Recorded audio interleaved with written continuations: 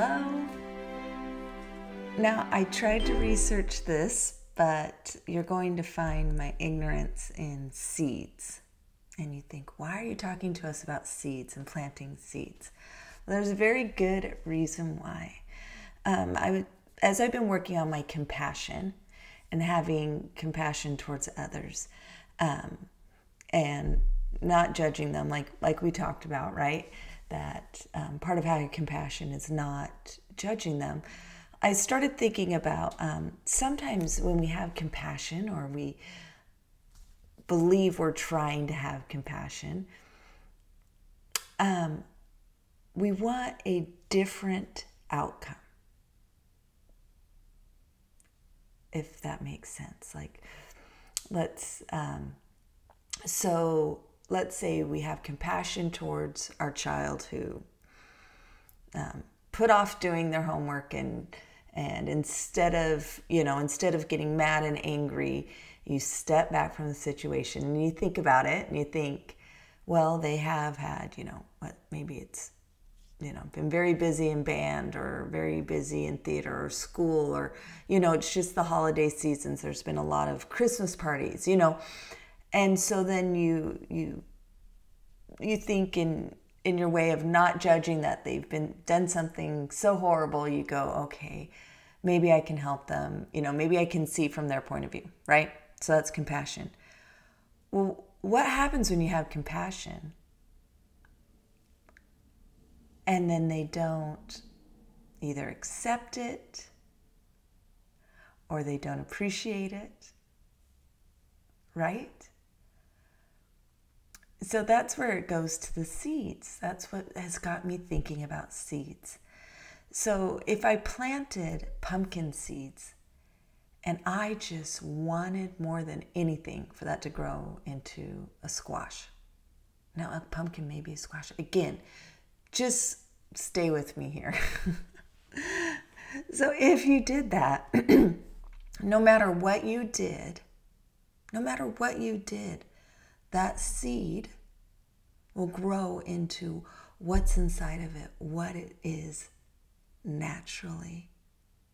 No matter what I do, I cannot change that seed. It doesn't matter how I water it. It doesn't matter how I plant it. It doesn't matter if I plant it in different areas, in different soils. And so each person is their own seed that God that he created. And sometimes we try to change each seed. And we try to, maybe we have a child that's very um, artsy and we want them to be athletic. We're trying to change their seed. So, I just, in thinking about compassion and thinking about not judging, we also need to remember that everybody, everybody is different. And that we can, we can't change who they are or maybe their talents. Maybe they're talented in one area and not in another. Or we want them to be talented in one area and they just don't want to be. And that's where we don't, that's where kind of the judging comes in, where we shouldn't judge others because we don't know. There's so much we don't know that we are here to live on faith, right? Right? How much does it talk about faith over and over and over again in the scriptures? And for us to have faith, that's hard.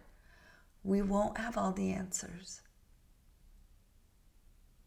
Now, I know that there are people who believe they do have all the answers. And if someone ever tells you they do,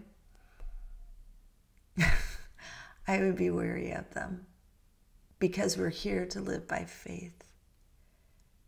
And we're here to trust in the Lord that He, that Seeds are created different.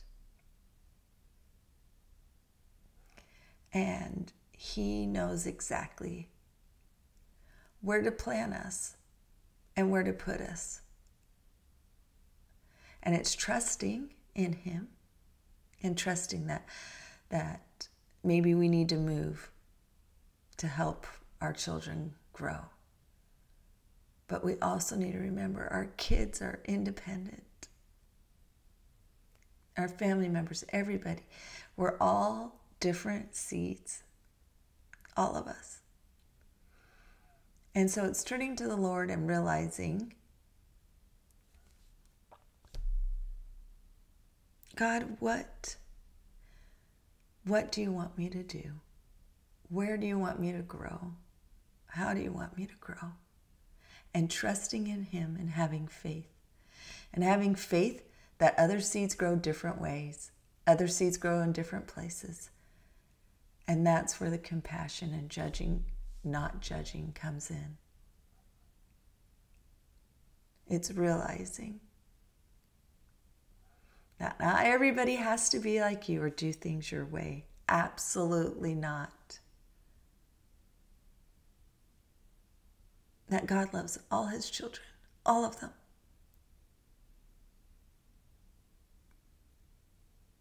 Every single one of them.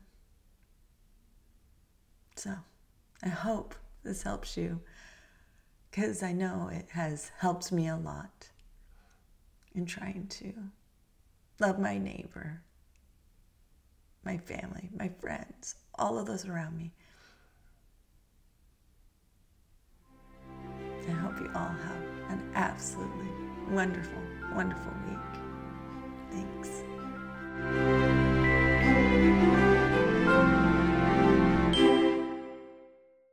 Thank you so much for watching or listening to my podcast. You can find more podcast or videos at perfectlypattitalks.com or you can search me up on Facebook or Instagram at Perfectly Patti. Thanks again.